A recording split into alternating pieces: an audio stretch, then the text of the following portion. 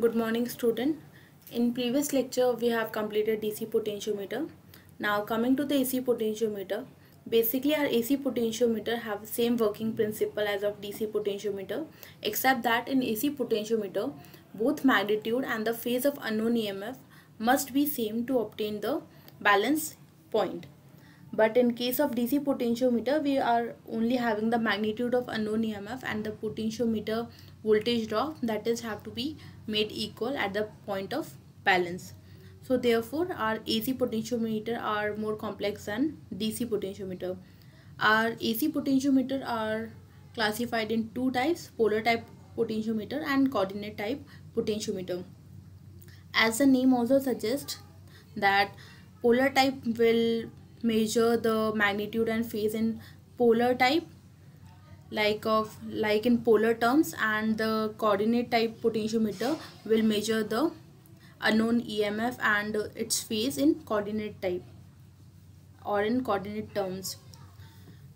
Now coming to the polar type potentiometer, we'll study this method in this lecture. Basically our polar type potentiometer measures the unknown EMF in polar form as we also know that is in terms of magnitude and relative phase. In this potentiometer, unknown EMF is balanced by the means of single voltage that is our unknown quantity or the voltage that is to be measured which is continuously variable in both magnitude and phase. Since a polar potentiometer was developed by Dr. C.V. Drysdale, it is properly known as Drysdale polar potentiometer. Now coming to the construction diagram of this polar type potentiometer. Here in this diagram the basic part was this phase shifting transformer and our slide wire. So in this phase shifting transformer having a ring shaped stator which uh, consists of either two or three phase windings in our case we are having two stator windings the stator is closely fitted with the rotor and inside the rotor it carries a winding which is which supplies the potential slide wire AB. The stator windings L1 and L2 are supplied from the same source that source and in parallel. So these both are in parallel with each other. Their current I1 and I2 have phase shift of 90 degree.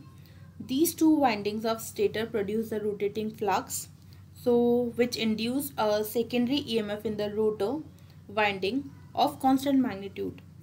The phase of the induced EMF is varied by rotating the rotor in any, any position from its zero as a reference. The phase displacement of the rotor induced EMF is equals to the angle through which the rotor is moved from its zero position. Like whatever will, be the rot rotation show directly shows the phase dis displacement of the rotor induced EMF like rotation of this will show the induced EMF phase. The stator windings are so arranged like the like alteration of phase angles is not accompanied by the alteration of the magnitude of magnitude of rotor induced EMF like whenever whenever there will be a change or alteration in the magnitude of rotor induced EMF the effect will not be on the stator windings phase angle.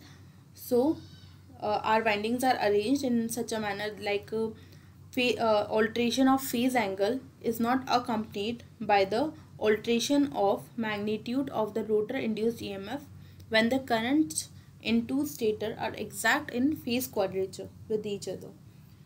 So now the stator is supplied from a single phase AC source by using the phase splitting device.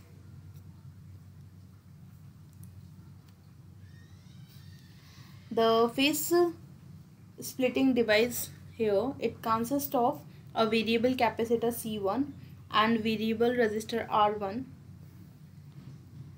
the supplies of potentiometer slide wire AB from phase shifting transformer is so arranged that the magnitude of voltage supplied by it remains constant while its phase can be varied through the 360 degree.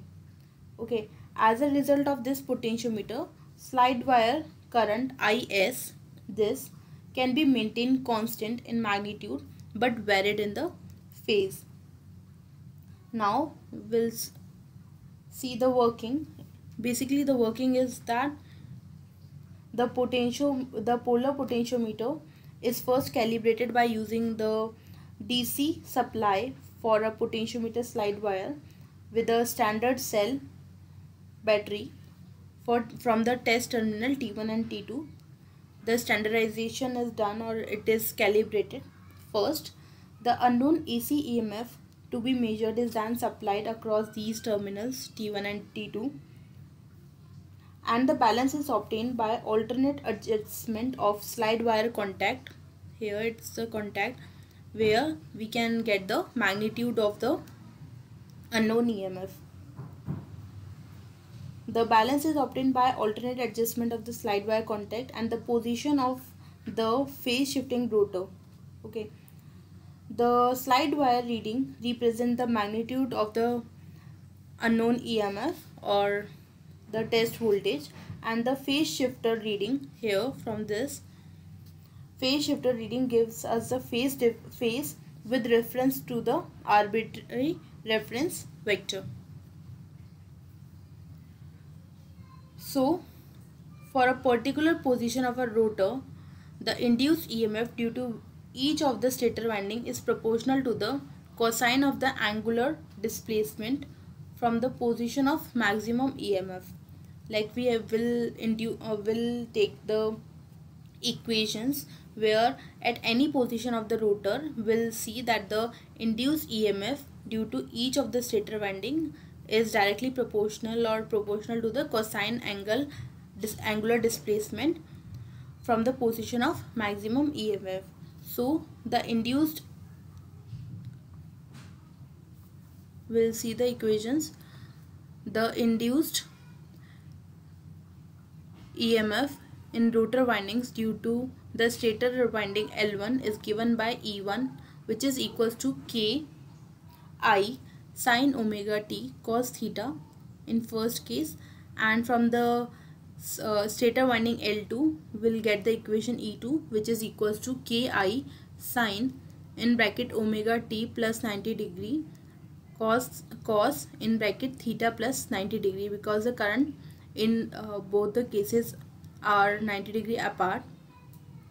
So uh, E2 will be equals to minus of Ki cos omega t sine theta so the resultant EMF E in the rotor will be equals to E is equals to will add both E1 and E2 will get Ki in bracket sine omega t cos theta minus of cos omega t sine theta so from this will get E is equals to Ki sine omega t minus theta where K is a constant and I is a stator winding current. This relationship shows that rotor EMF has a constant amplitude or magnitude but the phase angle is given by the rotor position theta. In our working also we have made the magnitude constant and we have basically concerned over the phase angle of the unknown EMF. So here we can see that the uh, E comes out in a in a polar form also. So uh, from this will conclude about polar potentiometer. In next lecture we'll study rectangular coordinate type potentiometer as a part of AC potentiometer. For now, I am ending this lecture. Till then, continue our lecture. Stay healthy, stay safe.